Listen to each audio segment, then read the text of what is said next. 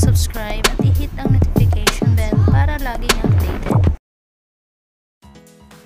Pinawag na laos ng isang netizen si Angelica Panganiban dahil umano sa sunod-sunod nitong pag-atake at pangungunsan siya sa kasalukuyang administrasyon. Kaugnay sa naitalang 15,000 plus na kaso ng COVID nitong nakaraang araw. Walang patumanggang binara ng isang netizen si Angelica Panganiban at ang saad ng isang netizen, Hey Laos, shut up na. Di mo na maibabangon ang karir mo kahit mag-ingay ka pa dyan. Dagdag ng netizen, if you want tumulong, tumulong ka na lang. Puro ka reklamo. Kalakip nito ay sunod-sunod ang post ni Angelica Panganiban sa kanyang Twitter account. Dagdag ng actress, 15k to think ang mga nagpapacheck lang ang may, may symptoms at may kaya magpa-swab test. Di paano ang wala? Hay, nakakaloka talaga.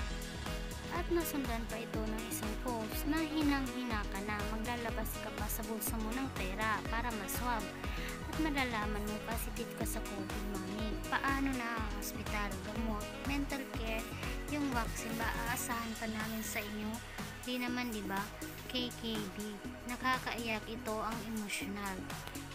Na naman, walang habas na sinagot at binara si Angelica Panganiban ng isang netizen.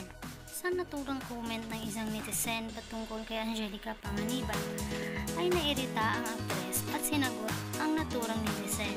Sa sa ng aktres, Hello Sarah, style mo baguhin mo, paulit-ulit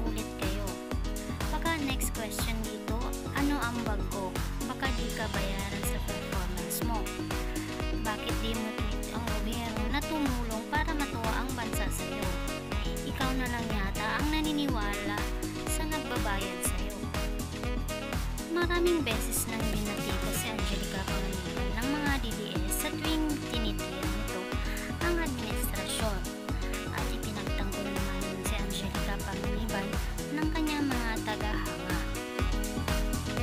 At kung gusto mong maging updated sa mga bago nating post, huwag kalimutang mag-subscribe at i-hit ang notification bell para laging updated.